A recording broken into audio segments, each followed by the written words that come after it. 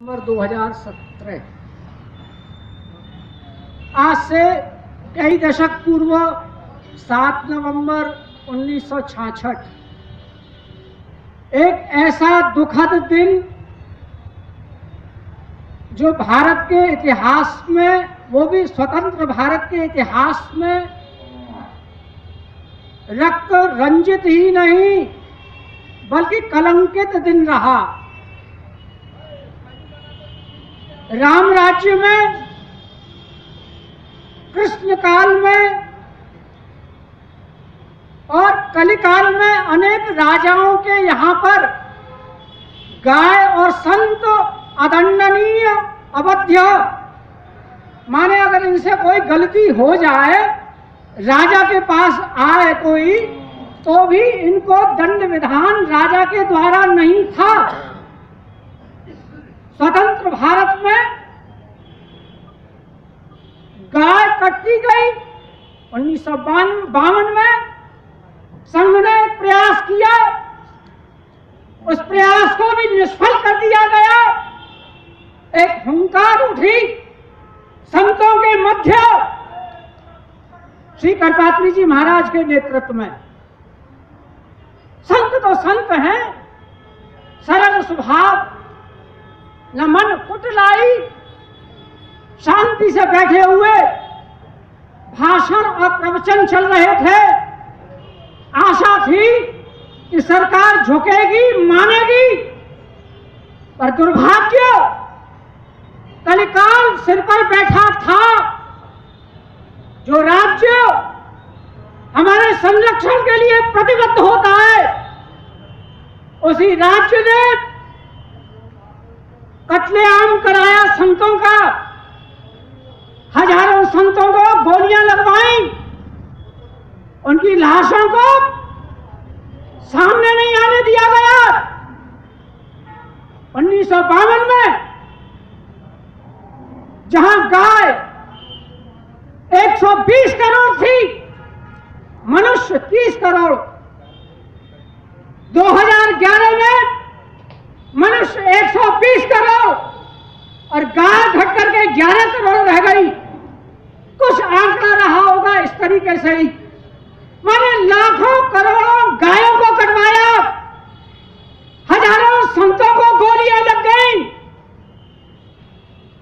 और आज तक सरकार के कान पर जू नहीं रहेंगी। कारण, ये सेलिब्रेशन नहीं है ये कंचन कीर्ति के लिए अवसर नहीं है ये बहुत दुखद घड़ी है।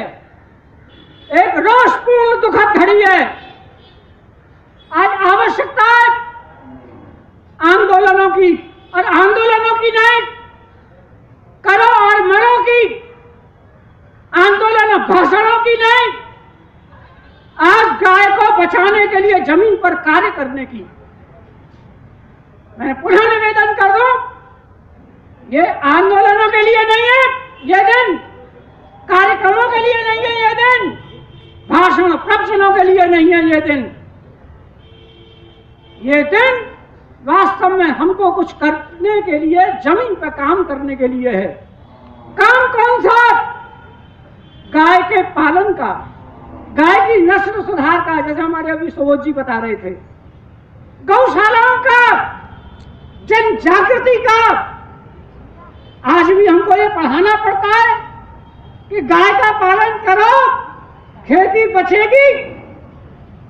परिणाम क्या हो रहा है? कई गलती हुई है हमारी योजनाओं में, हमारे क्रियान्वयन में। उस पर विचार करना पड़ेगा। अभी हमारे मध्य में भारतीय गौ क्रांति मंच के भी विराजमान है।